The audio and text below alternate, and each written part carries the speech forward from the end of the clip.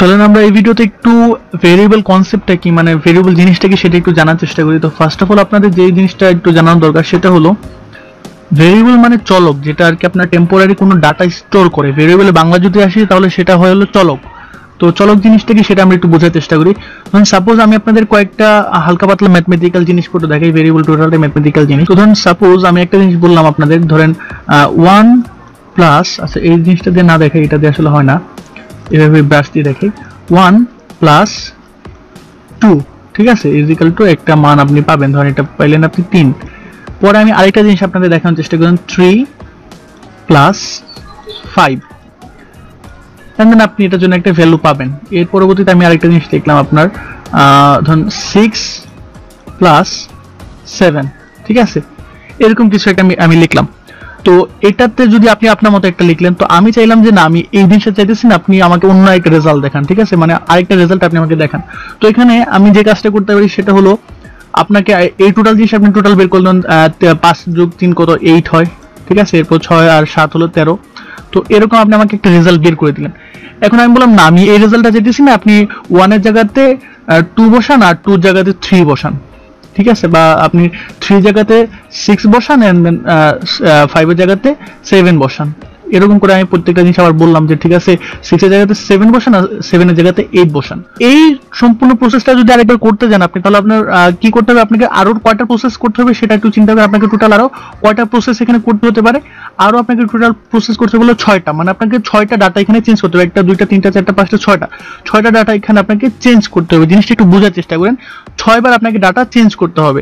এখানে আপনাকে কিন্তু স্টোরেজ অনেক বেশি ইউজ হইতেছে। তো এই কাজটা আমরা যদি আরেকভাবে করি সাপোজ আমরা তিনটে ধরলাম হলো আমরা আরেকটা জিনিস একটু ডিক্লেয়ার করে নিই, তাহলে একটু ভালো। ধরুন আমরা এক্স ইজিক্যাল টু আমরা ধরলাম এক্স এক্স ইজিক্যাল টু ধরলাম থ্রি আর আপনার ওয়াই ইজিক্যাল টু ধরলাম কত?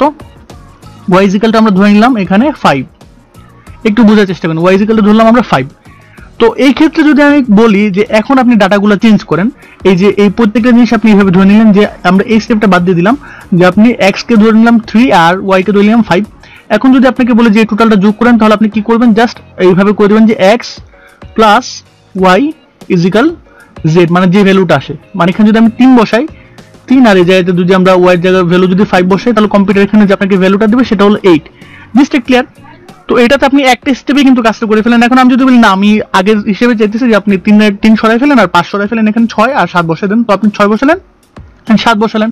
জাস্ট আপনি কি করলেন? এই তিনটা কেটে দিলেন আর এই যে এটা কেটে দিলেন। জিনিসটা ক্লিয়ার মানে এই জিনিসটা আমরা কেটে দিলাম। এটা তো আপনার নিজে থেকে বুঝতে পারতেছেন, এই জিনিসটা কেটে দিলে কি হতে পারে, তাই না? তো এটা কিন্তু একদম ইজিলি করা যেতেছে জাস্ট কি করলেন? এই এক্স আর ওয়াই এর ভ্যালুটা আমি চেঞ্জ করলাম। তাহলে এখানে করা লাগতেছে আমাকে ছয়টা ছয়বার ডাটা চেঞ্জ করা লাগতেছে। আর এখানে আমার দুইবার ডাটা চেঞ্জ করলেই কাজগুলো শেষ। বা একবার ডাটা চেঞ্জ করলে কাজগুলো শেষ হয়ে যায়। তার মানে এটা কি করলাম? আমি টেম্পোরারি একটা মেমোরি স্টোর করলাম, যেটা আমাদের প্রত্যেকটা কাজেই করতে হবে। যে আমি জাস্ট এই ভ্যালুগুলোকে আমি একটা চলক দিয়ে এখানে রিপ্রেজেন্ট করে দিলাম। মানে একটা ভেরিয়েবল দিয়ে দুইটাকে আমি রিপ্রেজেন্ট করে দিলাম, যাতে আপনার পরবর্তীতে কাজগুলো করতে ইজি হয়। তো আমি একটু কম্পিউটার আন্দাজে কাজগুলো দেখে ধরুন সাপোজ এটা হলো আমার একটা মেমোরি তো আমি কি করলাম? আমি আমার ভেরিয়েবলগুলো ডিক্লেয়ার করে দিলাম। ভেরিয়েবল কীভাবে ডিক্লেয়ার করতে হবে? ধর আমি এইভাবে এইভাবে প্রত্যেকটা ভেরিয়েবল ডিক্লেয়ার করে দিলাম। যে আমি একটা টেবিল বানালাম টেবিলের মধ্যে আমি প্রত্যেকটা ভেরিয়েবল ডিক্লেয়ার করে দিলাম যে এইটা এই জিনিস, এটা এই জিনিস অ্যান্ড দেন এটা এই জিনিস। এভাবে বলে আমি প্রত্যেকটা ভেরিয়েবল এখানে ডিক্লেয়ার করে দিলাম। তো এখানে কি হতে পারে? ধরুন আমি এখানে বললাম যে এটা এখানে হবে হলো ডিক্লেয়ার করা জিনিসটা এটা হলো টোটাল ভ্যালু হবে। ঠিক আছে? তো আমি বলে দিলাম এখানে এক্স ইজিক্যাল টু থ্রি এখন আমি যখন এই যে আমি আমার টোটাল কম্পাইলারের মধ্যে এখানে যখন লিখব যে এক্স প্লাস থ্রি তো কম্পাইলার কি বুঝবে? কম্পাইলার বুঝবে যে হলো যে এই যেহেতু এখানে আমাকে এক্স প্লাস থ্রি বলছে, তার মানে জিনিসটা কি? এক্সের ভ্যালু হলো এইটা, তাই না? কম্পাইলার কি বুঝবে যে এক্সের ভ্যালু হলো এইটা, ঠিক আছে? কম্পাইলার বুঝবে এক্সের ভ্যালু এইটা, তার মানে এখানে সে কি করবে? এক্স ইজিক্যাল আমি থ্রি ডিক্লেয়ার করে দিই, সে কি করবে? থ্রি প্লাস থ্রি আসলে এখানে লেখাগুলো ভালো হইতেছে না, তবে একটু বুঝে নিন three plus three is equal to six compiler কিন্তু এটা ইজিলি বুঝবে। তো এইভাবে আসলে আমরা ভ্যারিয়েবল এই কারণে ইউজ করি যেন আমাদের স্টোরেজের যে মেমোরিগুলো আছে সেটা যেন বেশি পরিমাণ ইউজ না হয়। আমরা সিম্পলভাবে ইজিলি যেন আমাদের সবকিছু ইজিলি ডিক্লেয়ার করে দিতে পারি, সেজন্য আমরা ভ্যারিয়েবলটা ইউজ করে থাকি। তো আমাদের প্রত্যেকটা জায়গাতে ভ্যারিয়েবল ইউজ করতে হবে। তো এই ছিল মোটামুটি ভ্যারিয়েবল বেসিক ধারণা। এটা আর একটু ডিটেলস যাও, যে আমরা ডিটেলস একটু পরে যাব। আপাতত এই জিনিসটা বুঝে